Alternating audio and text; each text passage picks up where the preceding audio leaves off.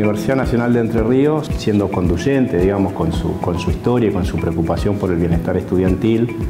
en un momento en el cual socioeconómico complejo, digamos, eh, ha decidido de manera excepcional incrementar el valor de las becas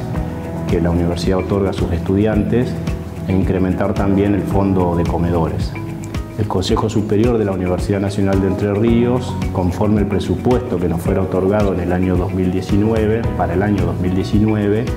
en realidad congeló la mayoría de las partidas que tenían que ver con extensión, con investigación y con programas académicos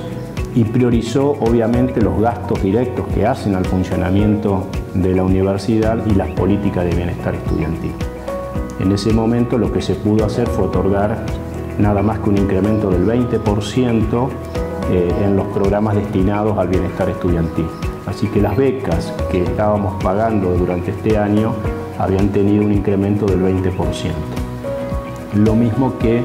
lo que en el presupuesto aparece como fondo de comedores. Obviamente, en función de la coyuntura actual conocida por todos nosotros, la fuerte devaluación de este último mes, que obviamente genera mayor inflación, eh, nos ha parecido oportuno eh, intentar volver a reforzar, digamos, estas partidas y es así que de manera consensuada con todos los decanos de nuestras unidades académicas hemos acordado otorgar eh, un incremento adicional en las becas que nos permiten llevarlas a 3.200 pesos de manera retroactiva al 1 de agosto del 2019. Es decir, que nuestros estudiantes este, que reciben becas van a estar eh, cobrando un, adicional en este mes de septiembre, en algunos días, de 600 pesos y a partir de octubre van a estar cobrando una beca de 3.200 a sabienda que esto es insuficiente, pero que de alguna manera este, intenta digamos, eh, llegar digamos, con alguna pequeña solución a la situación de nuestros estudiantes. De la misma manera, eh, tratando de